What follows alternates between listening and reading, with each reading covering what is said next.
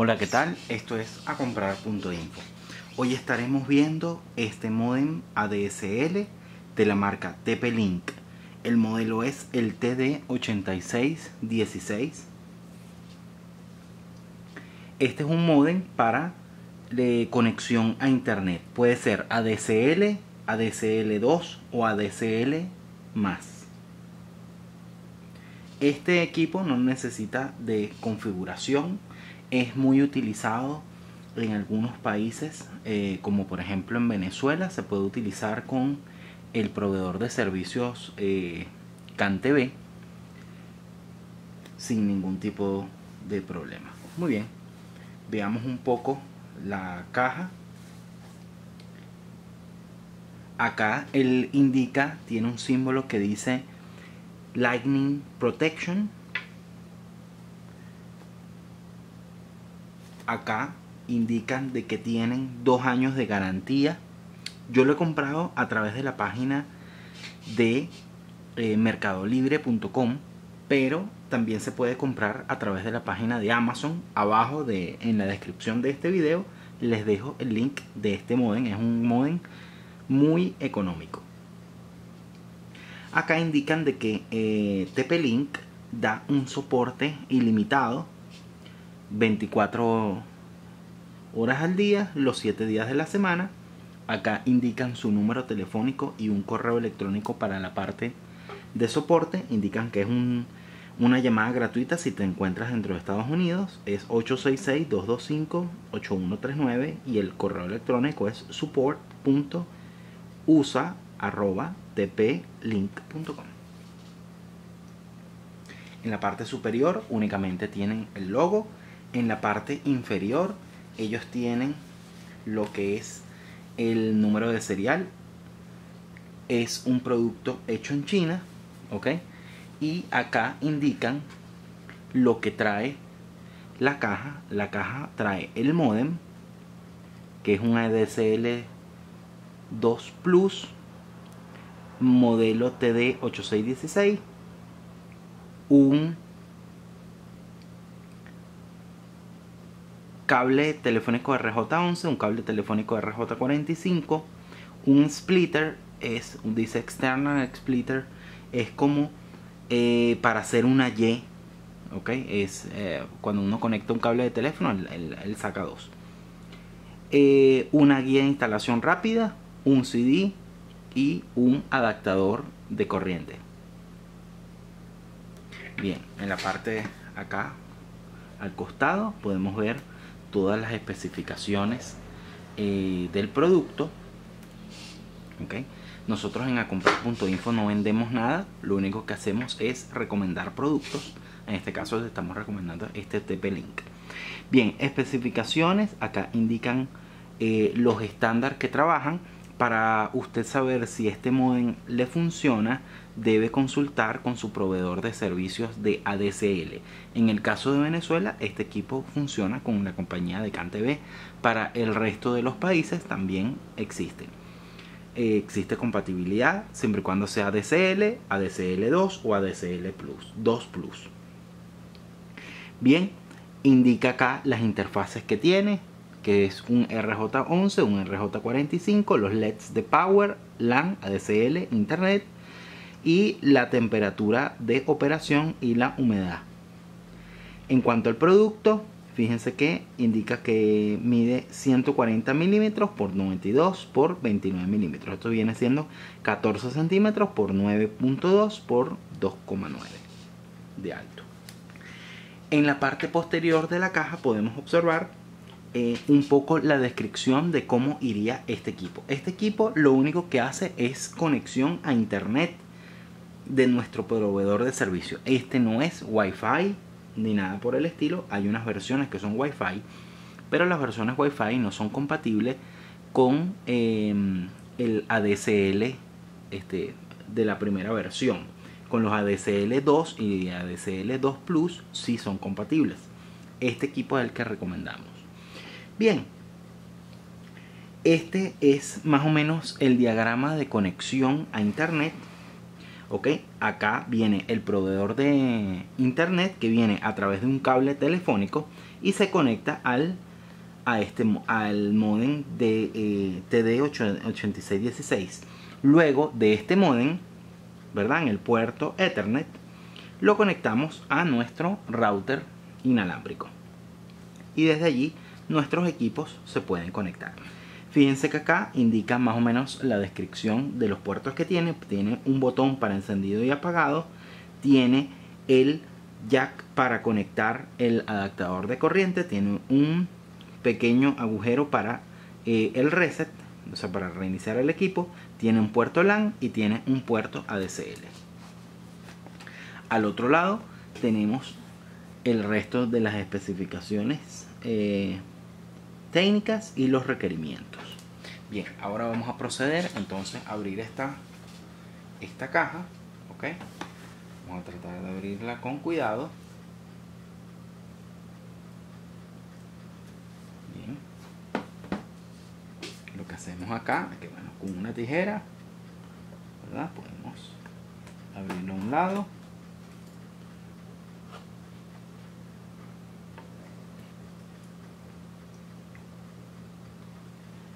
Este, este proveedor es, eh, también lo, recomendamos bastante, es una marca bien económica, los productos son hechos en China, como muchos eh, productos electrónicos.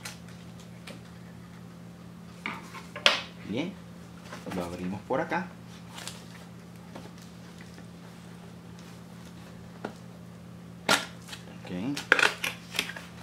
Y lo podemos sacar.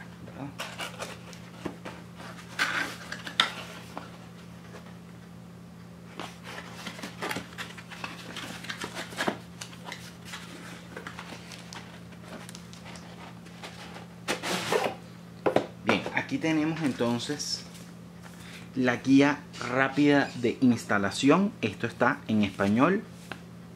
Ok. Fíjense que este, todo esto está en español. Bien. Eh, tenemos en la parte acá la guía de instalación rápida. En la parte posterior nos dice el contenido del, ah, del paquete. Estamos hablando que tiene eh, un modem eh, TD8616, un adaptador de corriente, un CD de recursos, un cable Ethernet, un cable telefónico, un splitter y esta guía rápida de instalación, lo que ellos llaman GRI, es guía rápida de instalación.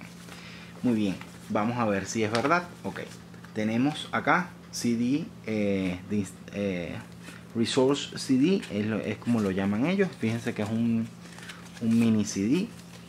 En caso de que usted no tenga unidad de CD en su laptop, tendría que comprar o una unidad de CD o descargar los drivers directamente de la página de tp-link.com. Ok, aquí podemos observar de que indica la, todo lo que las características. Realmente este Resource CD no es una no se requiere instalación, es más que todo algo así como que el, manual, ¿no? Eh, tenemos una guía de instalación rápida. En este caso la tenemos en inglés. Aquí dice Quick Installation Guide. Y nos dice lo mismo que tenemos aquí en español, lo tenemos en inglés.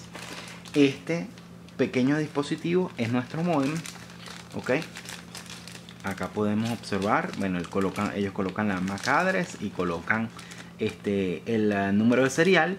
Fíjense que el IP predeterminado de este equipo es el 192.168.1.1. Bien, esto pudiera traer un problema, ok, el default username es admin y la clave es admin, aquí se los indica. Esto les pudiera traer un problema con el... Eh, el router inalámbrico, ¿ok? El router inalámbrico tiene que estar en otro segmento de red, es decir, que su router inalámbrico no debe ser 192.168.1.1, sino la red de su inalámbrico tiene que ser otra, puede ser 192.168.0. algo o este, do, eh, 192.168.2.0, etcétera. ¿okay? Tienen que hacer ese cambio. El, el, adaptador de corriente de esto es 5 voltios 1 ampere. Bien, vamos a sacarlo acá un momento de la bolsa para ver un poco la descripción. A ver. Perfecto. Lo sacamos a la bolsa. Bien, fíjense. Tenemos acá el, los que son los LEDs, Power, LAN, ADSL, Internet. ¿Ok? El power lo que les va a indicar si el dispositivo está encendido o apagado. Cuando está encendido está siempre la luz fija. LAN es cuando usted tiene conectado este cable de red. ¿ok? Cuando está conectado el cable de red y hay un dispositivo del otro lado y está trabajando, va a ver de que este LAN siempre va a estar eh, parpadeando, lo que llaman blinking o lo que llaman este, titilando. ADSL viene siendo cuando este, hace la sincronización del dispositivo ¿ok? y cuando está funcionando el internet debería esto también este titilar hay unos que lo llaman eh, eh, eh, ¿cómo es que estatus ¿ok? bien en la parte posterior podemos ver el botón del power, ok, usted lo presiona y lo enciende y cuando lo vuelve a presionar lo apaga. Este es el conector para el power este es el botón de reset, Ethernet y el cable este, telefónico que es por donde llega eh, su, su conexión de ADSL. ¿ok? Muy bien, aquí tenemos un pequeño cable telefónico. ¿ok? Este es lo que llaman RJ11. Un cable Ethernet. ¿ok? RJ45, eh, cuando estamos hablando de RJ45, RJ11 es este tipo de conector, ¿okay? este tipo de conector es más grueso. Bien, tenemos otro cable eh, telefónico, son dos cables telefónicos lo que nos incluye. Tenemos el adaptador de corriente, ok, podemos observar acá que dice eh, que es TP-Link, ok, 5 voltios, 1 ampere. Esto en caso de que se llegue a dañar el, eh, este equipo, bueno, lo podemos conectar, lo podemos encontrar. Acá tenemos un ADSL splitter. Ok, fíjense que acá eh, cuando llega de la calle la, la conexión del teléfono, lo conectamos aquí y de aquí vamos a utilizar los dos cables telefónicos que tenemos. Uno va para el teléfono y el otro va para la PC. Fíjense que acá lo dice. ¿Ok? Bueno, no realmente la PC, estamos hablando de este modelo. ¿Ok? Aquí lo dice en pequeñito. Bueno, no se, no se logra ver acá, pero eh, está como en blanco marcado. Dice eh, phone y el otro dice modem. ¿Ok? Perfecto, vamos a ver qué nos indica aquí rápidamente esta guía de instalación en español. Veamos, veamos, veamos. Vamos a abrirla acá. Excelente. Bien, ya leímos acá la parte de, eh, de lo que incluye el, el paquete. Acá nos dice, bueno, cómo se conecta básicamente el equipo. Bien, esto viene siendo de la siguiente forma. Este splitter también es, es filtro, es para que no suene el, em, eh, el ADSL, ¿no? porque eso, eso genera un sonido ahí. Bien, conectamos un cable de teléfono hasta el splitter. Del splitter conectamos el cable de teléfono al, a nuestro teléfono y el otro cable donde dice modem lo vamos a conectar desde el splitter hasta el cable de aquí de donde dice ADSL del modem. Luego conectamos un cable de Ethernet, ¿ok? El cable Ethernet es este que tenemos acá, que es más grueso. Lo vamos a conectar desde el modem hasta nuestra computadora. Si no es a nuestra computadora, entonces debe ser a este, nuestro modem inalámbrico. Y lo conectamos eh, la energía eléctrica. Bien. Acá dice, eh, para la parte de conexión a internet, ya cuando usted está conectado no debería tener ningún problema. Eh, si antes ha utilizado ese, equipo para conectarse a internet. ¿ok? De todas formas, ellos indican acá de que usted inicia, ingresa en inicio, panel de control. Esto es Windows 7. ¿Ok? En Windows 8 es muy parecido y en Windows 10 también es muy parecido, pero pudieran haber algunos cambios.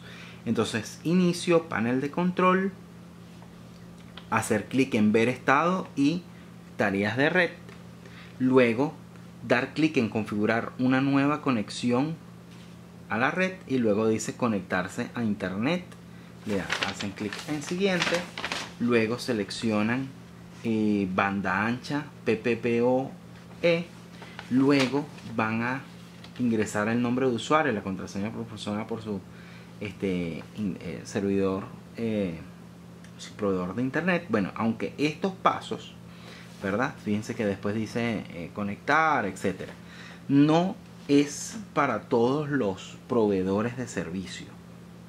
Esto, no, esto es para algunos proveedores. Hay algunos proveedores que para conectarse al servicio de ADSL necesitan usuario y contraseña.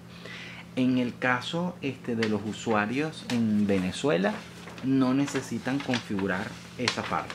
¿okay? Esto lo pueden omitir al conectar la PC ya deberías tener internet. Debes esperar como unos 5 minutos y ya, ya tienes internet. ¿ok? Si lo conectas todo bien, lo enciendes bien, deberías tener internet a los 5 minutos. Para la parte, este, como les dije, que el modem eh, tiene una IP eh, privada interna, que es 192.168.1.1, ahí tienen que llamar a un técnico para que, este, si en caso que tengan una Wi-Fi y la Wi-Fi tenga ese mismo de rango IP, tienen que llamar a un técnico para que haga la instalación apropiada. Ahora muy bien, y aquí les indica, por ejemplo, si en, algún momento quieren restablecer la configuración eh, de fábrica del dispositivo, le dan al, botón de reset. que hacen si se les olvida la contraseña de ese dispositivo? Aunque esa, esa contraseña no la van a utilizar, ¿ok? no deberían hacer ninguna configuración, sino nada más conectarlo y ya deberían eh, comenzar a trabajar. En el caso acá de la parte de soporte técnico, en caso de que tengan algún problema, pueden llamar a la gente de TP-Link. ¿Ok? Y eh, tienen acá un número telefónico en México y tienen un número telefónico en Estados Unidos. Eh, bueno, no, esto no es Estados Unidos, esto es otro país. Porque fíjense el código postal, el código es más 86. Habría que buscar cuál es porque la verdad que no lo desconozco.